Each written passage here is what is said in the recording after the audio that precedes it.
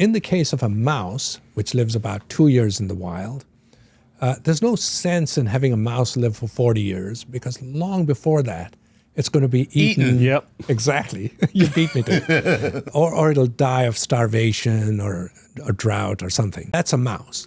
If you get to a, a large animal like a, a bowhead whale, let's take a, an even even bigger than an elephant, they can live for two, three hundred years, and they have a very s- relatively slow metabolism. Wow.